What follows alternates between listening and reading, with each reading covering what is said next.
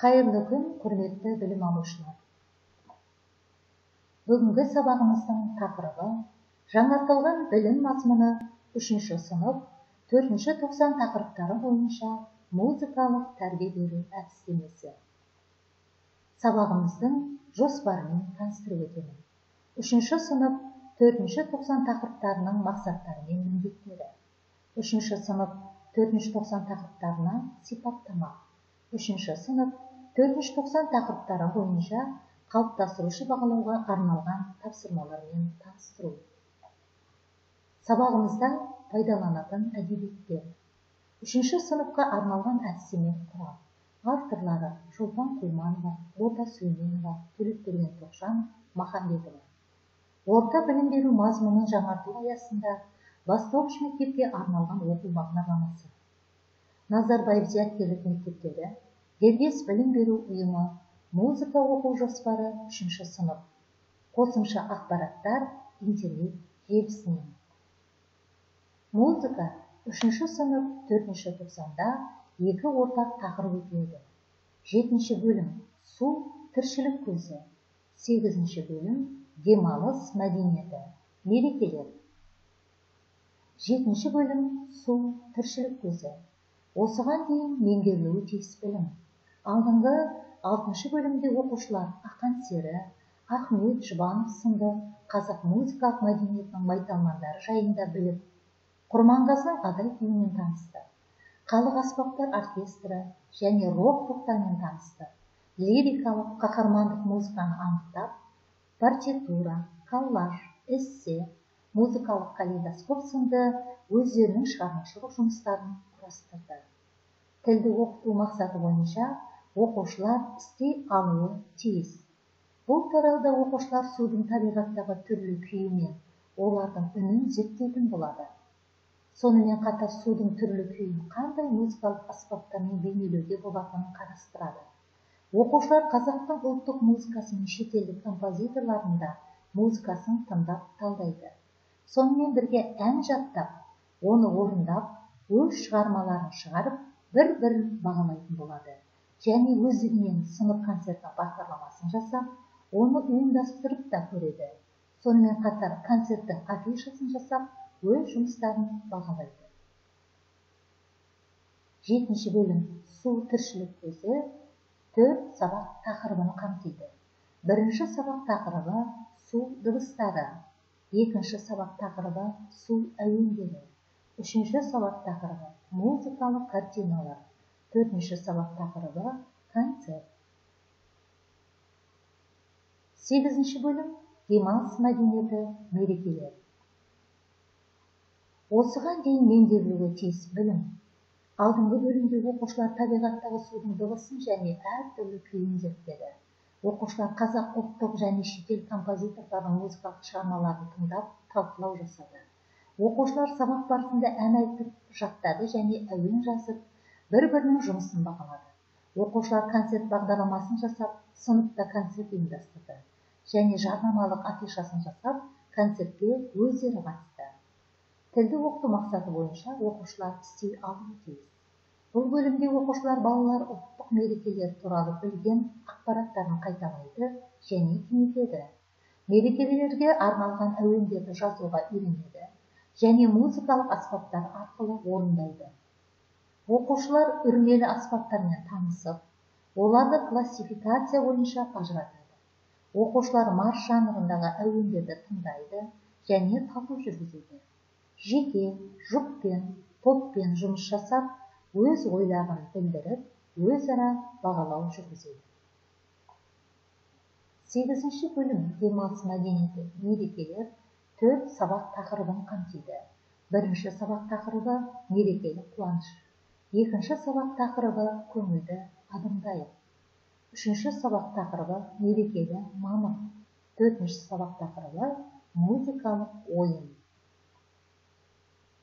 Ендеше су тіршілік көзі тақырыбында мына бейнероликке зейін қойыңыздар тіршілік көзі.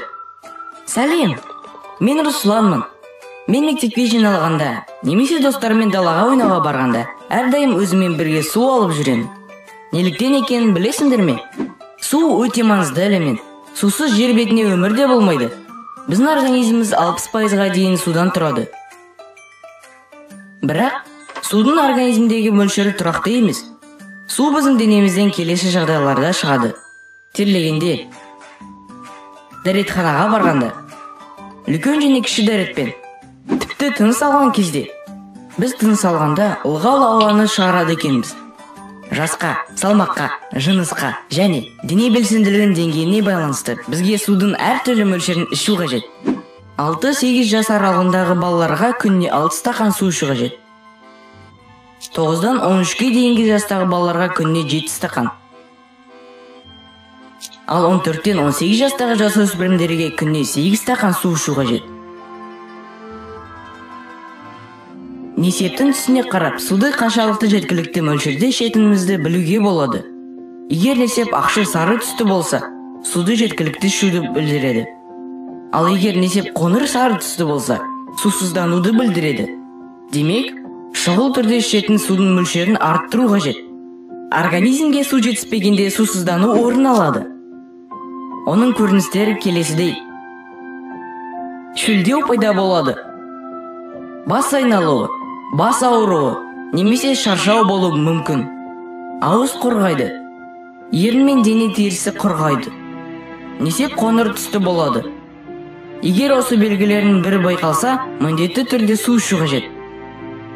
Суды күні бойы аздап жұтып ішу қажет. Әсіресе қатты терлеген кезде су ішу маңызды. Біз келесі жағдайларда терлейміз белсенді ойындар кезінде спортпен айналысқанда немесе үйді жинағанда. Далада немесе бөлмеде ыстық болғанда ауырған кезде. Естерінде болсын ыдыстағы суды күнде ауыстыру қажет. Және суды ауыстырған кезде әрдайым ыдысты таза сумен шаю қажет. Менің әрдайым өзімен бірге су алып жүруімнің себебі енді түсінікті болар. Суды көп ішу қажет. Сонда денсаулық мықты болады. Келесі құрманғазының көбік шашқан күйін тыңдаймыз құрманғазы сағырбайұлының көбік шашқан күйі. Бір кезеңдерде каспий теңізі деңгейі көтеріліп жағадан шығып тасып кетеді екен. Ғалымдардың айтуынша бұл әрбір дәуірлік мерзім сайын болып тұратын құбылыс көрінеді. Міне сондай құбылыс 19 ғасырдың екінші жартысында да болған. Мұны ұлы сазгер құрманғазы асып тасып көбіктеніп толқып жатқан теңізді көріп оның халыққа залалы тигеніне жаны қиналып жүрек сыздатар көбік шашқан күйін шығарған екен.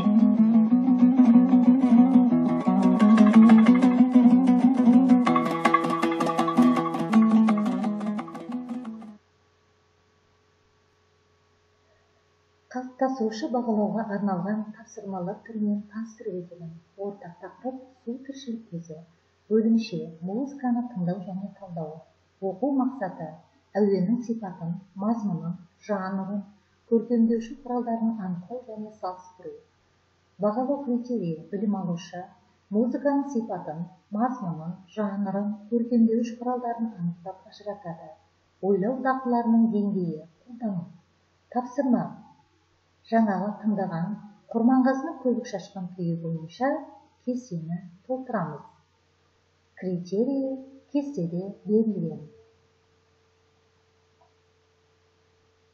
ән салу музыкалық іс әрекет түрі бойынша ортақ тақырып су тіршілік көзі бөлімше музыкалық орындаушылық іс әрекет.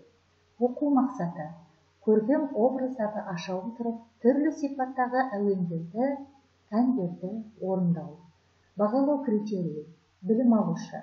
Әндердің екпінін динамикасы мен ырғағын сақтап орындайды. Ойлау дағдыларының деңгейін қолдану.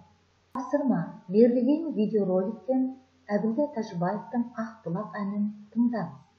Әннің екпінін ырғағын сақтап көркем бейнесін аша отырып фонограммамен қосылып орындаңыз. Ескриптор бойынша білім алушы әнді фонограммаға ілесіп орындайды. Әннің екпінін ырғағын сақтайды. Әннің көркем бейнесін ашық орындайды.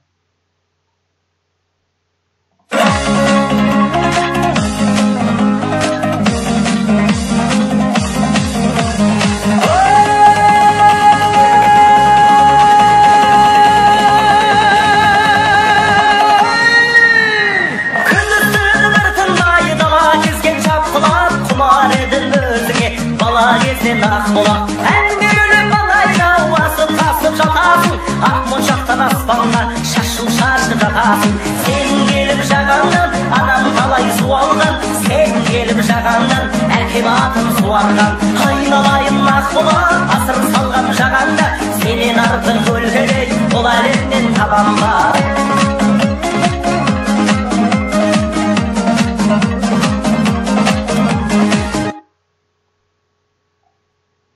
берілген смайликтер бойынша сабақ соңында балалар рефлексия жасайды үйге берілетін тапсырма. Үшінші сынып төртінші тоқсан музыка пәні бағдарламасының мақсат міндеттерімен танысу.